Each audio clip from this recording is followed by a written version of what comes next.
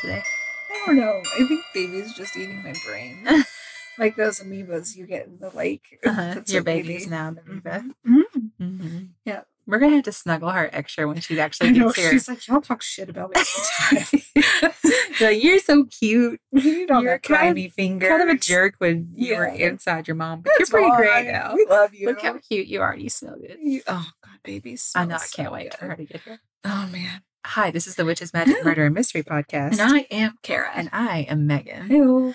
I have a fun little side piece for you today. Okay. It has kind of a creepy name, but it's not creepy. Oh. Okay.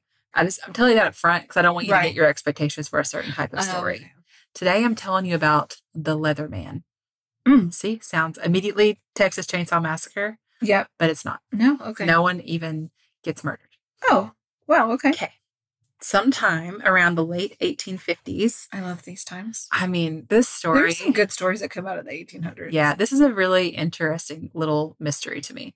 And it's a mystery that we will never solve, which is like- ago. You have to just be at peace with that. Mm-hmm. And in some ways, I like the stories that we never, Right. never going to know. Yeah. Okay. So people up in the New England area around Connecticut and eastern New York started to notice that there was a man who would walk through their towns on a regular basis. I think a lot of the time, if you see just some random man wandering around, you might not even notice that it's the same one Right. over and over. Right. But this guy stood out because he was mm-hmm. medium height and build with black hair, a black beard, and blue gray eyes. Okay.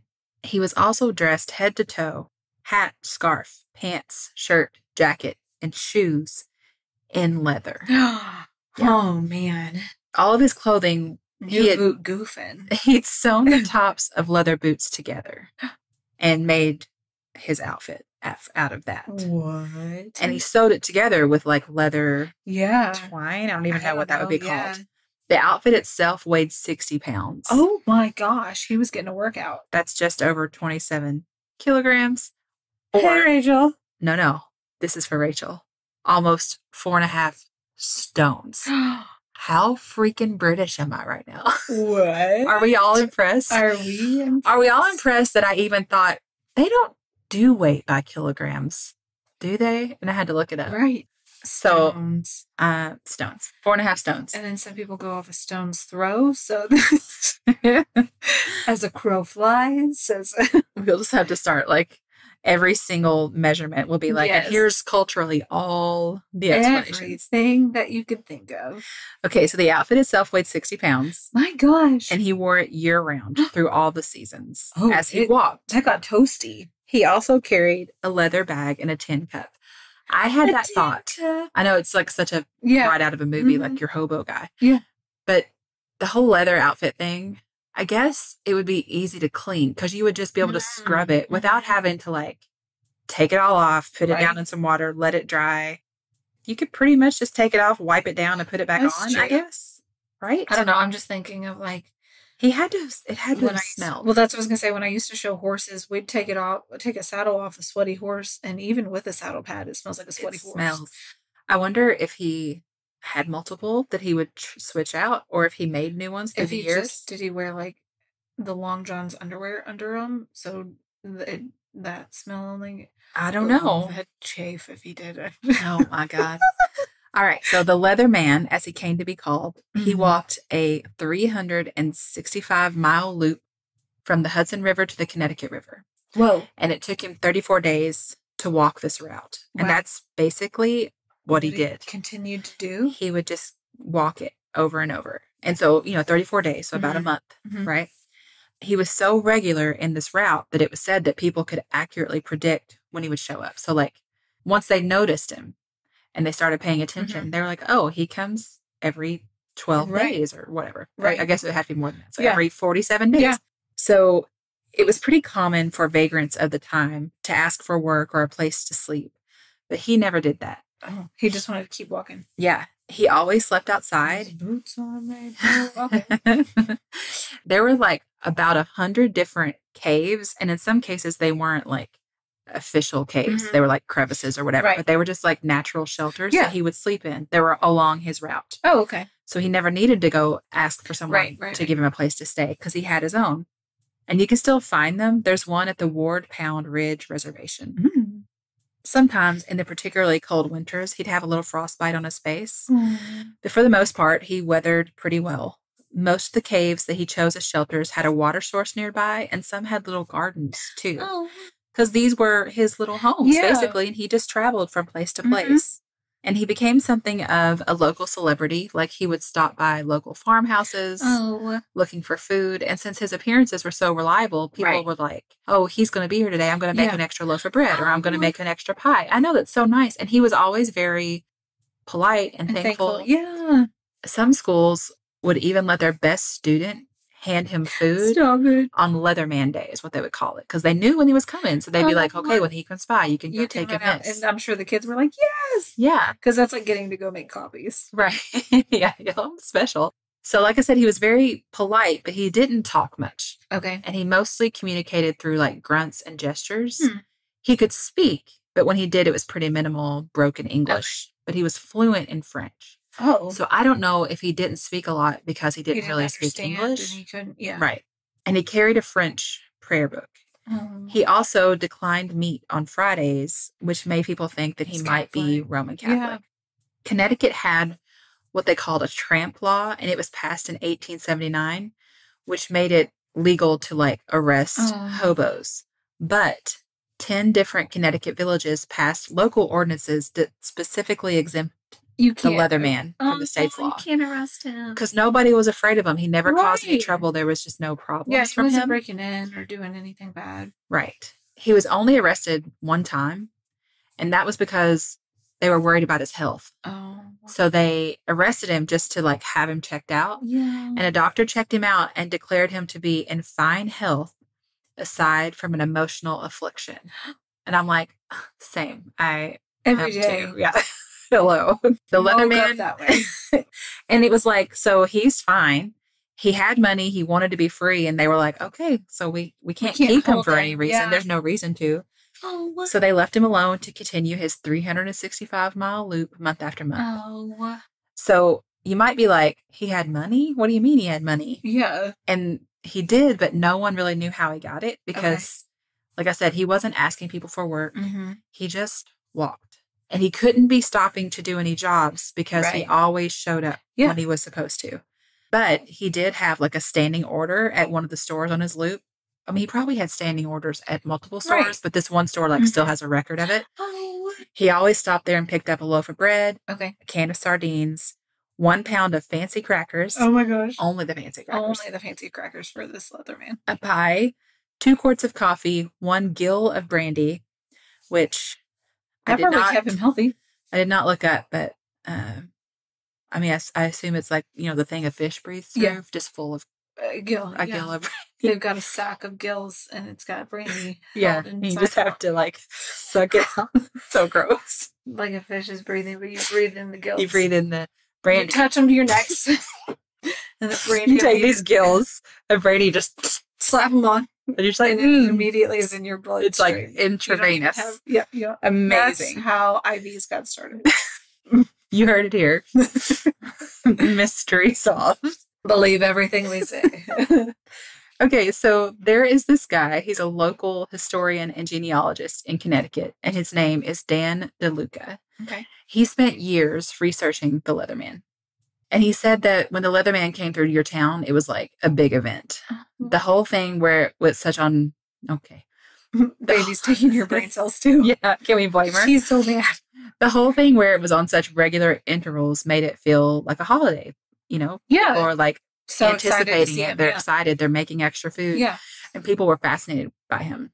They would sometimes be like, "Hey, I'll give you this pie if you'll just tell me a little bit Mhm. about yourself." And he would always decline those offers. He wouldn't talk about himself. So if anyone asked about his background, he would abruptly end the conversation. Oh. He wasn't rude or anything. Like Yeah. he seemed to even have like a playful side. Oh. DeLuca found a story where some school children left four old, like tarnished pennies for him out along his route where they knew he'd pass by. Oh. So when he came by, he picked them up and put them in his pocket and he replaced them with four like new shiny Oh, pennies, which I think is the cutest That's little really story. cute. So we don't really know how long he walked this route. Mhm. Like I said, people started to notice it in the late 1850s. Okay. DeLuca's research shows that the Leatherman first appeared in the area around 1856, from what people could tell. Hmm. And they think he was about 17 years old then. Oh wow. So we don't know when his 365 mile loop started, but we know when it ended. When he didn't show up for his regular stops, people went looking for him. Oh. And his body was found in March of 1889 in one of his caves. This one was the Sawmill Woods Cave in Mount Pleasant, New York. Okay. He chewed tobacco, and when they did an autopsy, it was determined that he had died of blood poisoning brought on by mouth cancer. Oh. He was about 50 years old. So, I mean, even just from the years we're sure of, 1856 to 1889, that's 33 years of the Leatherman walking and walking, and Walking. walking. Wow. Yeah. His body was taken to an undertaker, and his leather suit was put on display in one of the local shops. Oh. He was laid to rest in Sparta. I don't know if it's Sparta. Mm. Sparta. That sounds Sparta. natural. Cemetery in Ossining, Hmm? New York. For 64 years after his death, his grave marker was just a plumbing pipe that had been stuck in the ground. Oh. Then in 1953, a headstone was placed on this spot, which read Final resting place of Jules Bourgelat of Lyons, France, the Leatherman, who regularly walked a 365 mile route through Westchester and Connecticut from the Connecticut River to the Hudson River, living in caves in the years 1858 to 1889. Oh wow. And it's like, Jules Well, how'd you come up with that? Bourgelat. Yeah. Okay, so that name comes from a newspaper article that had been published in 1884 when the Leatherman was still alive. Okay. It said that the leather man was actually a poor Frenchman named Jules Bourgelat who had fallen in love with a girl above his station. Her family owned a leather tanning business, Um, and her father refused to let her marry Jules until Jules proved himself to be a hard worker by working in the family business. Oh. So, you know, he went to work, he worked really hard, but Mhm. one day he made this disastrous mistake, which ruined the tannery Oh, no. and bankrupted the girl's family. oh gosh. Heartbroken and shamed, Jules Bourgelat left the country and wandered the New England countryside in his leather suit so he would always remember his failures. Oh, no.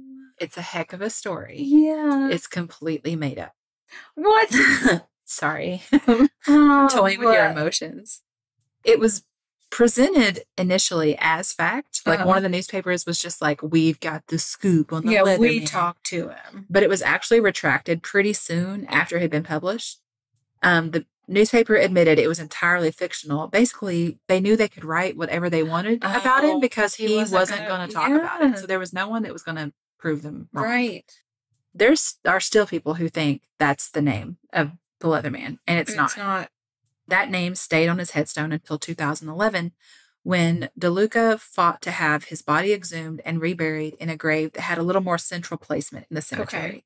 Apparently, the first grave was like right by the road, and he was Oh. just like, I don't know, it's just a little too. Yeah, it doesn't feel right. Yeah so the plan at the time was to exhume the body and examine the remains and do some tests to see if they Mhm. could find out any more information on who this guy was Yeah. you know, sometimes they could do those tests that are like, he has this, this, and this, so he Right. must be from this part of the Mhm. world or whatever. Mm-hmm. In May of 2011, archaeologists, soil scientists, and amateur historians filled a tent erected over his gravesite and began to dig. Connecticut State archaeologist Nick Bellantoni lay on the gravesite, carefully scraping at it with a small tool. Oh. He found some nails and a few animal bones. What? The body wasn't there. Oh no. there was no trace of the Leatherman. Oh. So Bellantoni was like, you know, because of the amount of time that's passed, Right. the effect of traffic over the shallow original gravesite, and possible removal of graveside material by a Mm. road grading project where it was right by the road, that maybe uh, accounts for the complete destruction of hard and Mhm. soft tissue in the grave. So they think that he was, it's not that anybody stole or it's not, you know, right. It just kind of disintegrated over time because of all the wear yeah, it was buried not completely as Yeah. deep as probably should have been, and then yeah, I guess people doing work and everything on the road. Who knows? Mhm. So they took what they found, which was basically dirt and the remains of the coffin, put it all in a new coffin, and reburied that in a new spot in the cemetery on May 25th, 2011. I think that's nice because it's like if there is Yeah. anything left of him in the dirt, Right. They at least got that and reburied it. Um, and they did place a new tombstone over his grave that simply reads the Leatherman, Oh, which I would just love to see. right. I feel like I love him for the same reason I love Grace Sherwood and Mother Yes. Shipton and Oh, all yeah. of them because it's like they just he just this is just what he did. Yeah, he wasn't a horrible person. No, he just had he just lived his interesting life. Yeah. They went back in July of 2011 and dug some more at the original gravesite, but they still didn't find anything. Oh. They found a golf ball. Oh, That probably wasn't his. yeah. I don't think he was golfing. So we still have no idea who he was, where he came from, or why he walked that loop for 30 years. The same loop Yeah, for what, 30 years. What is he doing? According to DeLuca's research, there's strong evidence that the Leatherman was French Canadian, probably born in Canada sometime around 1839. Okay. We know he spoke French. We think he was Roman Catholic. And it seems that he had a lot of knowledge of Native American lore that he Ooh. used to survive his life outdoors. Cool. The thing about that last part is very cool. I'm just not sure. Are they just how do you saying to that point, and how do you know this? right? Are they just saying that?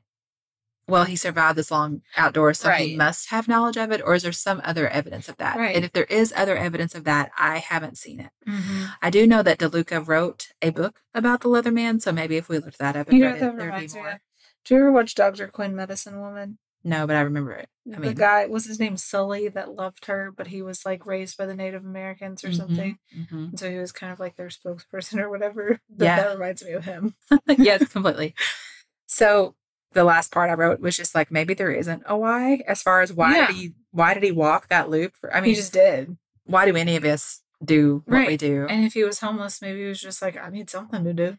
And he's just like, this is working fine for me. Mhm. I like sleeping outside. I Yeah. like not having a lot of possessions or a lot of things I have to take care of. Yeah. And I've got this little bit of money. I'm going to keep going. And and doing the same route over and over kind of gave him that social. It met Mhm. his social needs yeah, in a very easy way that didn't require much of Yes. him, right? Like, yeah, and I think especially where he gets to a point where he shows up and people are like, "Oh, hey, you're here," him. which that Yeah. has to be a nice feeling. and they're too. providing him with food and hmm Maybe he started it initially to kind of be a loner, Mhm. but kept doing it because if he really wanted no connections with anyone, yeah, he probably wouldn't have kept up the route. Yeah. Right. Of course, it's all speculation, but I mean, I just think as he kept doing it, it probably motivated him to keep doing it Yes. because it was such a nice people were looking experience. seeing him. and people cared about him, Mhm. Which had to be nice. Yeah, It does make you wonder though, what was his history? I know. Like, why- Where did you come from? What are you doing? Did he have family? Did he have any brothers or sisters or parents or children or we'll anything somewhere? Yeah, Because there's not enough evidence to go off of. right. We'll never know because his body is gone. Yeah, ancestry.com Completely gone. does not even have the Right. no evidence. It's really fascinating. so crazy. So that's the What leather man. I know. It's a different kind of mystery than we Yeah, have, that's really cool. I like it. I do too. Sweet little guy. I know. So yeah, there you go. That's the Leatherman. Um, if you Not live in that area and you've been to to Oh, see yeah. his grave with, I don't know. I just think it'd be cool just to be like, I just really love the idea of these people who are Yes. just living their life however they want to. Mhm. And like I said, you can still see some of the caves that he's left Mm-hmm. in. I think some of them are even available to be seen by the public without. I mean, it's not like a big deal. You just kind Yeah. of know it's there. So you know, if you're in the area, that's Go adventure. don't go trespassing on anybody else's land. Right, exactly. But if it's something that's like okay for you to go do, I'd love to see pictures. I'd love to hear about it. Let us know all about it. Yeah. All right. We'll be back Friday. Yeah. Love you So much. Goodbye. Goodbye.